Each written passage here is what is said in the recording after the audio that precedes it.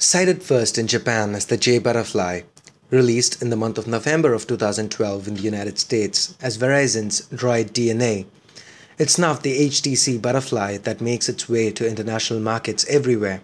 Let's start this review with the differences between the HTC Butterfly and its Verizon brethren. The HTC Butterfly lacks 4G, NFC, and wireless charging capabilities, but it does receive a microSD card slot instead. Apart from these differences, barring some bloatware from Verizon, the Droid DNA and the HTC Butterfly are pretty much the same phone. Spec-wise, the HTC Butterfly is a behemoth that packs a quad-core Qualcomm Snapdragon Pro processor clocked at 1.5 GHz, an Adreno 320 GPU, and 2 gigs of RAM. It has 16 gigs internal storage, of which 11 GB is available for usage. Despite this, what really steals the spotlight here is the Butterfly's gorgeous 5-inch 1080p Super LCD 3 display.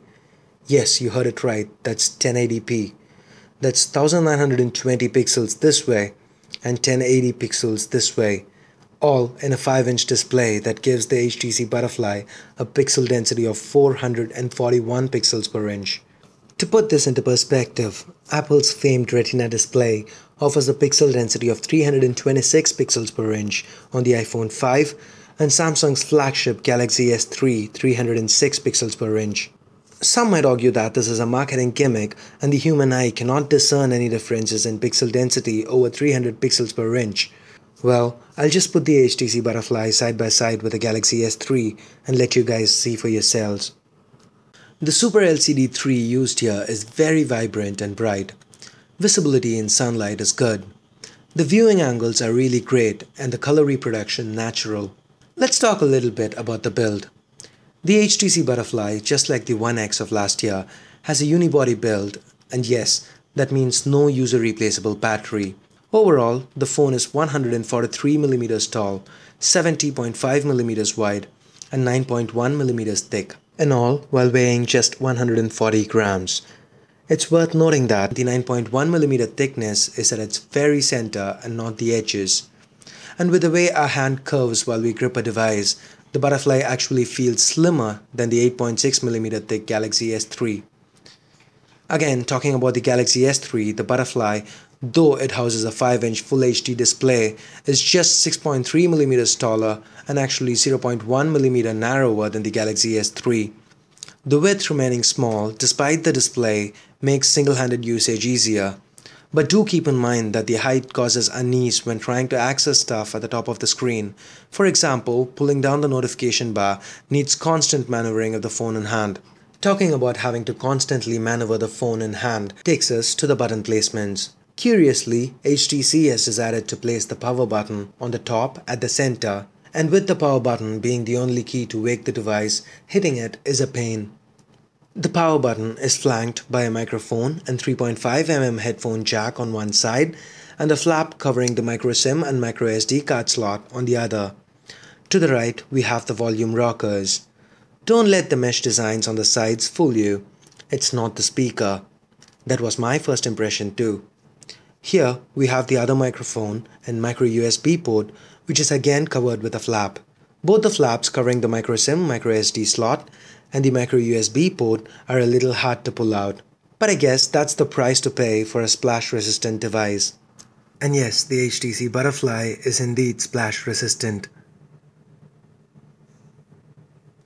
In the front, we have the speaker grill, the sensors, an HTC logo, and a wide-angle 2.1 megapixel camera. What that means is the front camera captures a lot more now compared to other front cameras like the one found on the HTC One X.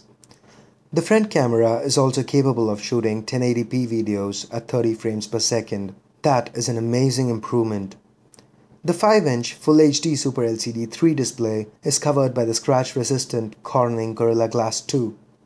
Down at the bottom, we have the three capacitive keys that HTC has adopted since Ice Cream Sandwich, the back, the home, and the open apps keys. They are well spaced and easy to use. At the back, we have a second notification light. This can be useful if you place your phone face down a lot, but if you do have your phone by your bedside, the notification light can get annoying quick.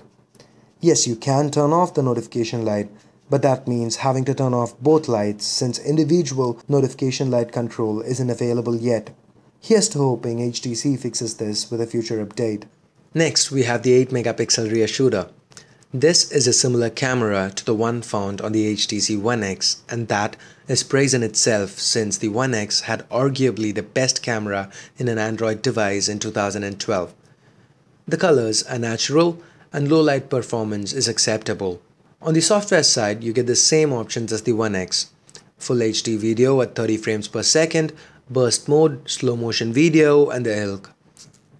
The video quality is also pretty good. This is a video that I shot earlier in the day.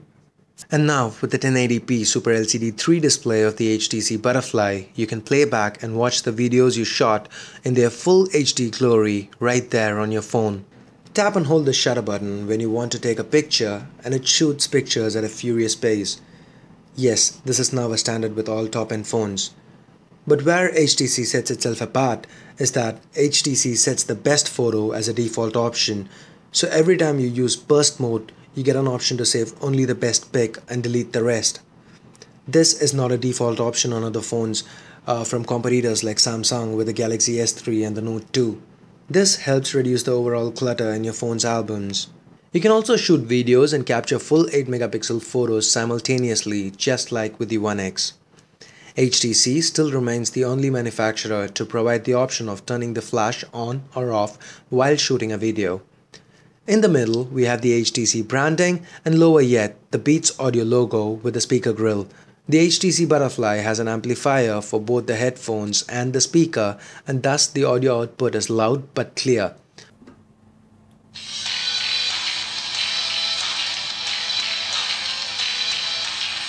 Beats Audio can be used with third-party apps as well and improves the bass considerably. I'm no audiophile but I'm pretty impressed with the sound quality here.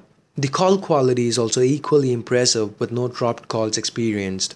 So far, we've touched on some software aspects, but now let's take a closer look.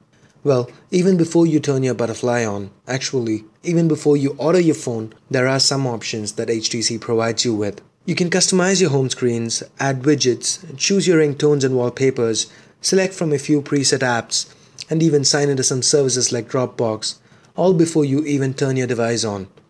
How do you do it? Head on over to start.htc.com slash butterfly, create an account, follow the instructions, and customize your phone all you want. Once you get your butterfly, turn it on, and when it says apply settings from web, tap it and sign in, and all your customizations will be applied. I really love the fact that HTC has gone the extra mile here. It's a great idea the HTC Butterfly runs Android 4.1.1 Jelly Bean out of the box with HTC's own Sense 4 Plus overlay on top. Everything feels buttery smooth. Despite the 1080p display, the Snapdragon Pro keeps everything running along smoothly. Apps open quick, there isn't any sluggishness or frame rate drops. The Butterfly has even been able to handle any game that I've thrown at it, but to be honest, I haven't really tried that many. Sense 4 Plus is a clean and almost unobtrusive interface. It comes with all of Google's apps, Twitter, and Facebook. The contact integration, as always with HTC, is great. Sense 4 Plus also offers quite a good deal of customization. You can change your wallpapers, your skins, lock screens, and a lot more. You can even save your home screen configuration, try something new, and return back to the original configuration. Sense 4 Plus also supports some gesture controls like two fingers for letter-wise scrolling and three fingers to launch MediaLink HD. We also get the new and improved gallery. Now we can access photos from Dropbox, Facebook, Flickr, Picasa and SkyDrive right from the gallery app. Going into my phone lists all the uh, all the photos on the phone. And now, apart from the regular albums view, we also get the events view so what this does is sorts your photos as per the date they were taken. This is a handy little addition. You can also check where they were taken by using the maps option there. One negative when it comes to Sense 4 Plus is that there are no quick toggles available. This is something that HTC used to have in the past. Right now you get the option for power saver off and with the Droid DNA you get the Wi-Fi uh, toggle over here. But apart from that there are no quick toggles. This is something that Samsung has with TouchWiz and even Google has seemed to acknowledge that people want the quick toggles and have given that as part of the Android 4.2 update. Hopefully when the Butterfly gets the Android 4.2 update, the quick toggles should be included. As of now, if you want to turn Wi-Fi on or off or mobile data on or off, you need to go into settings and then turn it off from here and it is a little bit of a chore. Battery life is very important for any phone. Sense 4 Plus on the HTC Butterfly lets you check what's currently using up your battery and also your historical data. Battery life on the HTC Butterfly is okay. It's not really bad, but it's not great either. It is definitely better than with the HTC One X. It seems that the Snapdragon Pro used here optimizes battery usage much better than the Tegra 3. The 2020 mAh battery of the HTC Butterfly gets me through a day with moderate usage. My moderate usage involves a couple of hours of listening to music via Bluetooth, uh, an hour of gaming or watching videos, an hour or two of calls, with Wi-Fi or 3G running in the background at all times. While numbers are not everything, we did run a couple of popular benchmarks. The HTC Butterfly scored strongly on both Antutu and Quadrant Standard. Alright guys, time for the verdict. Well, the HTC Butterfly is a great device, it's amazing, it's blazing fast, it's got a kick-ass processor, it's got 2 gigs of RAM, an amazing camera, it's got a very very gorgeous 5-inch Full HD Super LCD 3 display, and uh, you know, if you're in the market today and you want to get the top of the line device, the top end device, the best one, the one that annihilates everything else in benchmarks, then the HTC Butterfly is the device for you. But then again, if I were you, I'll wait at least another couple of weeks. Uh, you know, I'm making this video in the start of March, so wait a couple of weeks, see what the HTC One and the Galaxy S4 has in store before going ahead and picking this device up. Again guys uh, you know the timing of the international release uh, which was the end of February is a little questionable here. You know because the HTC One is coming out this month and uh, uh it seems like HTC doesn't really want to sell the Butterfly but then again the Butterfly is an amazing device. I mean the name I don't, I don't really like the name HTC Butterfly I don't want to go around telling people I've got a butterfly sounds weird uh, but then again it's seriously a solid device you know one that uh, is really worth the $900 that they're charging internationally. Uh, but then again, what's questionable here is that for a, 900, for a device that demands a $900 premium, uh, I seriously don't see why wireless charging and NFC couldn't have been included. Uh, again, this is just a minor gripe because wireless charging and NFC are in things we can't live without.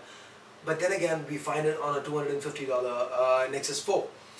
So these questions apart, the device again is really really good and if you're in the market today and for some reason don't want to wait for the uh, HTC One or the Galaxy S4, go ahead get this, you cannot really go wrong with it. It is an amazing device, well worth the investment. So that's pretty much it guys uh, uh, and uh, if you're somebody who wants to wait for the HTC One or the Galaxy S4 and want to compare it with this uh, uh, with the HTC Butterfly before you make a decision Stay subscribed because I will be coming out with comparisons with both the HTC One as well as the Galaxy S4. So that's pretty much it guys. Thanks a lot for watching and for the full written review head on over to cursed4eva.com and before you go make sure you hit the like and subscribe buttons. And if you guys want to pick up either the HTC Butterfly or the Droid DNA, you can order them from Amazon.com by clicking the links in the description. And if you guys do want to help me out, if there's anything that you want to order online and if you can order it from Amazon.com, just go through to Amazon by using my links in the description. Just use Amazon as you would always do. Just search for what you want, order it. Every time you guys go through my links and place an order, I tend to make a few cents to a few bucks. So that is if you guys do want to help me out. So that's pretty much it guys. Uh, thanks a lot for watching and once again before you go make sure you hit the like and subscribe buttons. And this is Ashio from cursed4eva.com signing off. I'll see you guys soon with more videos. Till then you guys have a great day. Bye bye now